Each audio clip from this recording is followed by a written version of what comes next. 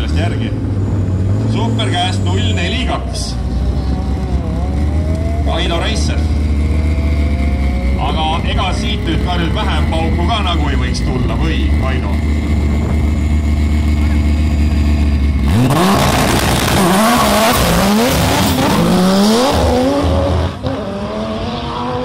nägite, kuidas küülik seda teeb?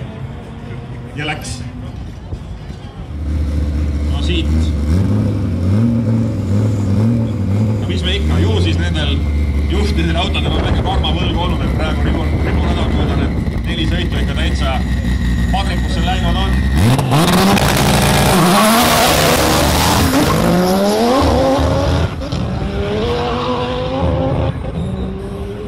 kuuskümmend jalga, üks koma seitsekümmend kaheksa. teame, usu, kaunistame selle roostese veega.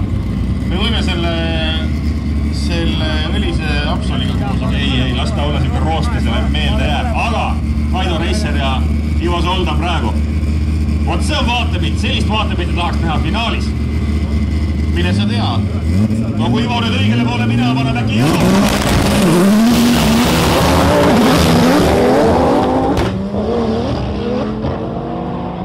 ma ei, ma ei julge vaadata. jaa, seitse-kaks vasakule rajale. täna sellist sõitu ainult ühe korra saame näha, sest üks võidab, üks kaotab. aga senikaua, kui seda on meile siin antud vaadata, siis vaatame. siit.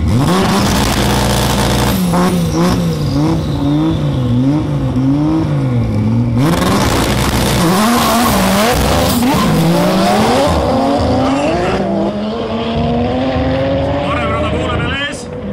seitse koma kolmkümmend kaks parem rada, Kaido Reisser. aga vaatame, nüüd on võimalus vormistada ka ühe nendest meestest superkäesklassi võit